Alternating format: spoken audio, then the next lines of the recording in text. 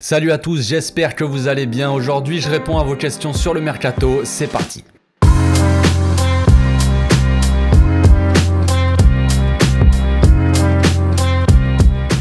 Au passage, n'hésitez pas à vous abonner si vous kiffez mes vidéos les gars, c'est le meilleur moyen de me soutenir et ça fera plaisir à tonton.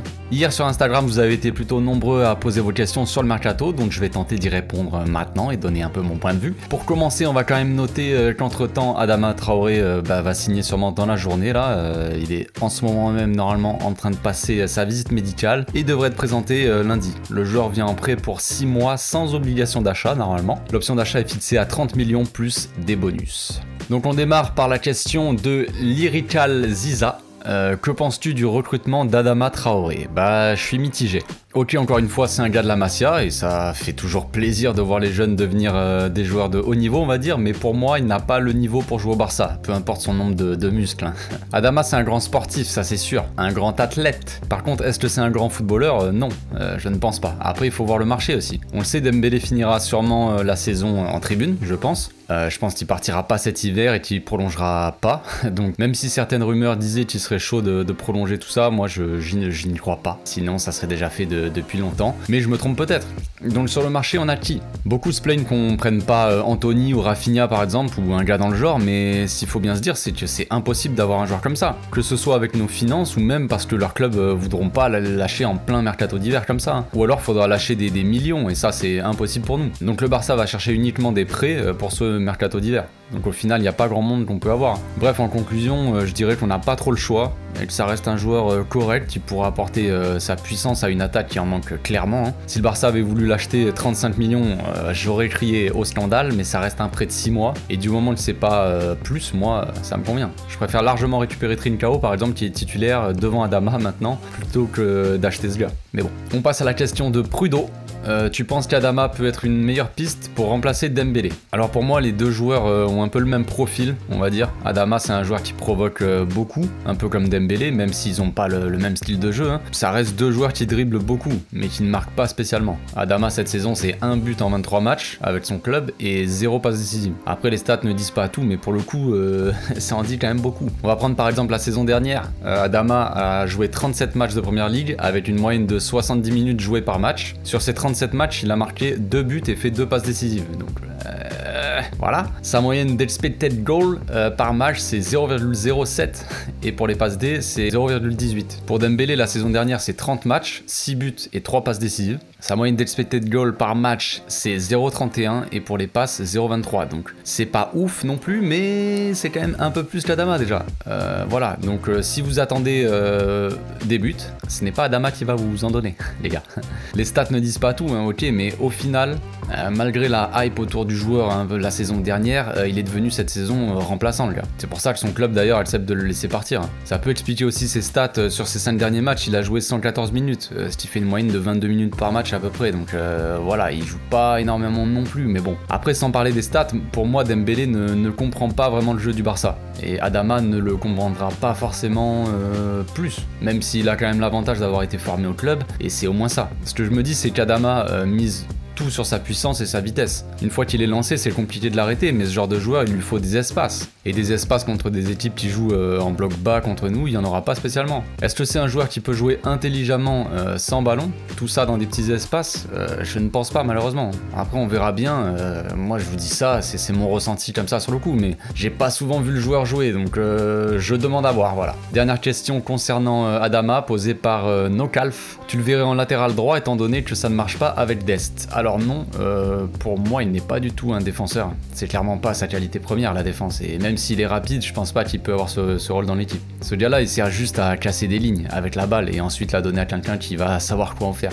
Après, est-ce qu'il peut jouer en piston? Pourquoi pas avoir hein. Mais euh, défenseur droit... Euh, non, si Dest est pas très bon en ce moment, j'imagine même pas avec Adama. Hein. Donc pour moi, c'est un non c'est un non. Ça, reste un joueur plus offensif que défensif. Le travail défensif, en gros, il pourra pas le, pourra pas le faire. Donc on a trois questions euh, sur Morata, donc on va les faire les trois en même temps. Euh, première question de Nordin Moubarid. Pourquoi force-t-il avec Morata, sachant que la majorité des socios ne veulent pas de lui? Deuxième question de Samara, qui n'est pas vraiment une question d'ailleurs, mais qui dit euh, Moi je ne veux pas de Morata au Barça. Euh, moi non plus, frérot.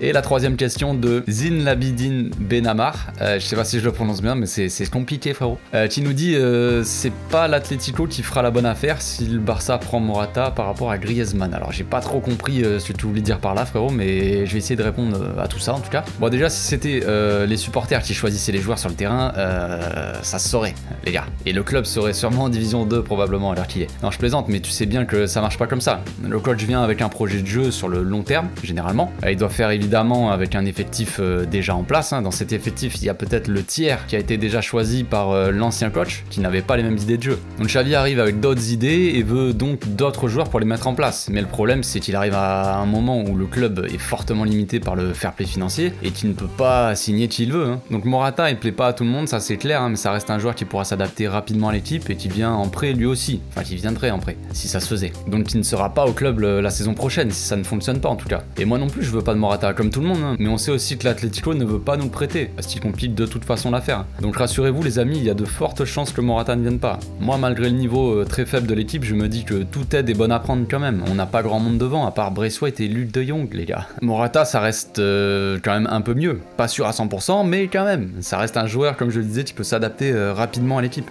Beaucoup parlent de l'obsession de Xavi avec les Espagnols, mais je pense que ce que Xavi essaie de faire avant tout, c'est de construire un groupe euh, uni. Une fois que ton groupe est uni et que l'équipe a, vraiment le moral euh, à 100%, on va dire, c'est à ce moment-là que tu peux faire passer tes idées plus facilement.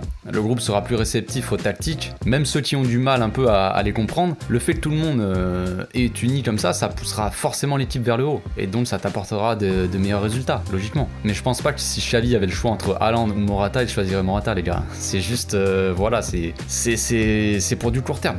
C'est tout.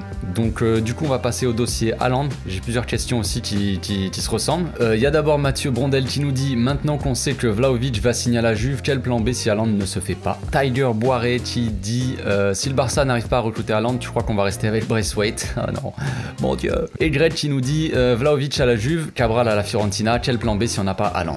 Alors question difficile. non seulement Haaland c'est une machine à but, mais il faut prendre aussi en compte que c'est une star le gars. Sa venue redonnerait une certaine image au club. Ok, le Barça est un grand club, ça y a pas de souci, mais un Barça sans star, ça fait quand même bizarre. Il y a 20 ans, Ronaldinho a débarqué au club, et c'est là qu'on est revenu un peu sur le devant de la scène. Même si ça ne fait pas tout, ça reste quand même important, je pense. Ensuite, il y a eu l'explosion de Messi, la venue de Suarez, Neymar. Donc on a toujours eu des stars comme ça dans l'équipe, mais il y a aussi d'autres exemples un peu moins sympas comme Coutinho ou Griezmann. Bon, ça c'est flop total. Mais bref, vous avez capté, la venue d'Aland euh, bah, t'apporte aussi euh, de la thune par rapport aux sponsors et à la vente de maillots. Donc en plan B, euh, il peut y avoir énormément de joueurs qui seront quand même moins performants euh, sportivement, mais en plus de ça, euh, moins bien en termes d'image, on va dire. Si Vlaovic était venu au club à la place d'Aland, ça aurait eu beaucoup moins d'impact médiatiquement, même si sportivement ça aurait peut-être pas changé grand chose. Donc on peut donner une liste de, beaucoup d'attaquants à sa place. Mais avant de réfléchir sur son remplaçant poste pour poste, on peut aussi se dire que est-ce que si Haaland ne vient pas, on est obligé de prendre un gars en pointe. Imaginons que Ferran Torres commence à se mettre en jambes et devient performant en faux neuf. Est-ce qu'il faudrait pas prendre un ailier vraiment performant par exemple? Style euh, Mo Salah par exemple. Je glisse un nom comme ça. Bref, moi dans ma liste, il y aurait donc Firmino, Gabriel Jesus, Mo Salah et Lautaro Martinez. Je pense que ces gars-là apporteraient sportivement et financièrement, en termes d'image, vente de maillots, tout ça, pas autant qu'Aland, mais quand même euh, un minimum. Mon préféré, euh, je pense que ça serait Mossala. Ok, c'est pas du tout un neuf, donc euh, on peut dire comme ça, ça remplacerait par Haaland, mais comme je vous disais, si Ferran bosse bien en tant que faux neuf, Mossala, lui, il claque quand même beaucoup de buts. Hein. Il a l'avantage d'être un joueur qui débloque des situations à lui tout seul, ce qui nous manque énormément depuis le départ de Messi. Son contrat finit en 2023, alors même s'il est cher, ça reste quand même faisable. Le problème, c'est qu'il aura 30 ans cette année, ce qui fait que c'est pas non plus une solution d'avenir. C'est comme Firmino ou même Lewandowski par exemple. C'est pas des, c'est des mecs qui ont plus de 30 ans ou 30 ans, c'est pas, c'est pas valable sur le long terme, on va dire. Donc j'ai sûrement oublié plein d'autres joueurs, hein, mais là comme ça, euh, c'est à eux je pense. Euh, mais je vous avoue que si Alan ne vient pas chez nous, euh, je sais pas comment ça se passera la saison prochaine. ça, franchement, ça fait flipper. Je dis pas qu'il faut faire tout et n'importe quoi pour l'avoir. Et en plus de ça, son profil, pour moi, reste un peu une énigme par rapport à son adaptation au jeu du Barça. Ça reste une machine à but et quand on voit la difficulté qu'on a pour marquer, même contre des petites équipes, il, il peut que nous faire du bien. Mais voilà, je sais pas si j'ai bien répondu à vos questions les gars, mais voilà. Question suivante, on a Pierre Cox et Lucas Bonnefou qui demandent ce que je pense du dossier Zakaria et Caissier. Et est-ce que Caissier serait une bonne recrue? Alors c'est une grande question, euh, voilà, c'est des profils qu'on n'a pas l'habitude de voir au club, clairement, hein. euh, mais ça veut pas dire qu'ils s'adapteraient pas non plus. Déjà, ce qui est bien, c'est que les deux joueurs sont libres en fin de saison, donc euh, voilà. On sait très bien que c'est ce que recherche le club depuis l'arrivée de la Porta. Mais bon, bref, c'est des gars puissants. Après, Chessie est un joueur un peu plus offensif que Zakaria. Hein. Zakaria, s'il vient, ça serait pour prendre la place de Boosted du coup. Mais est-ce que ça serait possible? Franchement, je sais pas si la saison prochaine, on va pas encore se frapper euh, au milieu, les gars. Hein. J'espère pas, mais on n'est pas à l'abri. Eh oui. Mais à choisir, je préfère euh, Frenkie par exemple à ce poste. Donc Zakaria viendrait pour être euh, éventuellement sur le banc, et je pense qu'il a le niveau pour être titulaire, donc pas sûr qu'il accepte euh, ce rôle dans l'équipe. Pour Kessier, c'est un peu différent, il jouerait plus au poste de Pedri, Gavi ou Nico par exemple. Alors je suis d'accord qu'il est plus puissant que Celia ça c'est clair, sauf peut-être euh, Nico qui peut rivaliser un petit peu. Et il nous faut clairement plus d'expérience dans cette équipe, euh, qui est composée de beaucoup de jeunes, hein, vous le savez. Après, si vous me demandez si je préfère voir Gavi ou Pedri jouer à la place de Tessier, euh, ma réponse est très rapide, il n'y a pas photo. C'est pas que j'aime pas Tessier, mais j'ai beaucoup plus d'affinité avec Pedri ou Gavi par exemple. Après, Tessier pourrait apporter beaucoup à cette équipe, hein, que ça soit au niveau de l'expérience, de l'impact physique au milieu, que ça soit en défense ou même en attaque. Hein. Mais c'est la même question que pour Adama, est-ce que face à des blocs bas, il aurait le même impact? Donc je suis un peu tiraillé, je vous avoue. Euh, j'ai pas envie qu'un joueur vienne jouer à la place d'un jeune, euh, car il stopperait clairement la progression du gars. Mais d'un autre côté, euh, tout le monde sait qu'il nous manque vraiment de l'impact et de l'agressivité au milieu. Mais pour moi, c'est en grande partie à cause de Busquets. Mais bon, c'est pas le pas le sujet. Mais on manque on manque d'un gars comme Chelsea au milieu, ça c'est clair, c'est sûr. Mais j'ai aussi en mémoire des gars comme Iniesta et Xavi, qui étaient loin d'être des monstres de puissance. Hein. Pourtant, ils ont martyrisé tout le monde. Mais à l'époque, la différence, c'est que toute l'équipe pressait pour récupérer le ballon et qu'il y avait quasiment pas vraiment de faille, quoi. Donc voilà, mon impression, bah, je suis mitigé.